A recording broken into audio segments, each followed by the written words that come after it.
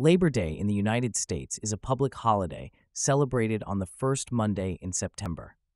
It honors the American labor movement and the contributions that workers have made to the strength, prosperity, laws, and well being of the country. The holiday is a tribute to the achievements of American workers and a celebration of their economic and social accomplishments.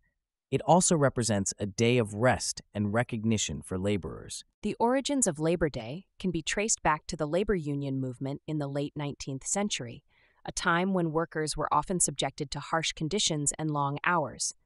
Labor unions began organizing strikes and rallies to protest poor conditions and to press for better hours and pay. Many of these events became the basis for the holiday. Labor Day became a federal holiday in 1894 when President Grover Cleveland signed it into law. Now, it's a day to acknowledge the hard work and success of American workers, recognizing their endeavors in improving industry standards and workers' rights. Labor Day is traditionally marked by various public events, including parades, which reflect the solidarity and unity of the labor movement. Such parades historically served as a demonstration of both the strength of the labor force and the individual union's community spirit. Additionally, these gatherings can also include speeches and engagements by labor leaders, politicians, and activists who focus on labor issues, workers' rights, and economic justice. Beyond its importance to the labor movement, Labor Day is also popularly recognized as the unofficial end of summer in the United States. Many people engage in recreational activities to take advantage of the typically warm weather. Beach trips, barbecues, picnics, and sports events are common, and many school districts and summer programs conclude around Labor Day.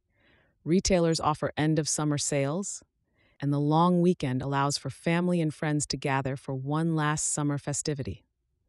Labor Day is a meaningful holiday in the United States that commemorates the resilience and triumphs of the American worker. It is a time to celebrate hard won workers' rights and the continuing efforts towards fair labor practices. Public celebrations, such as parades, highlight the solidarity of the worker, and the holiday also provides a moment for leisure and recreation, marking the passage from summer to the routines of fall. Labor Day encapsulates both the spirit of American industry and the value of leisure serving as a reminder of the delicate balance between work and personal life that is at the core of the American ethos.